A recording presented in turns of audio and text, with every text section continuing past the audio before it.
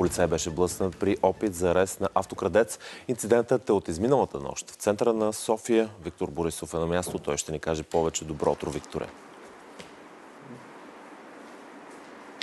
Здравейте! Всичко започва около час след полунощ в подземния паркинг на този хотел, който се намира зад мен, където полицията прави акция по задържането на популярен автокрадец. Акцията по време на нея обаче автокрадецът тръгва да бяга, излиза от паркинга през неговия вход, чупайки бариерата, която виждате зад мен и се удря в репатриращ автомобил на полицията, който е преградил входа.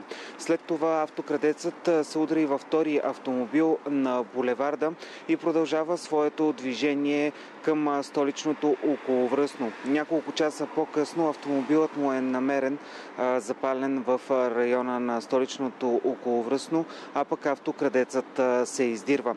Полицаят, който е пострадал при този инцидент е контактен и е без опасност за живота. Всъщност такава акция е втората за този месец.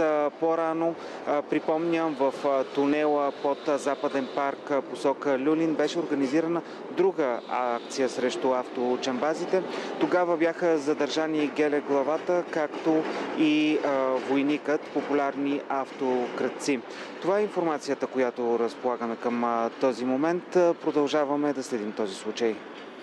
Очакваме развитие. Благодарим ти за това включване. Виктор Борисов на живо.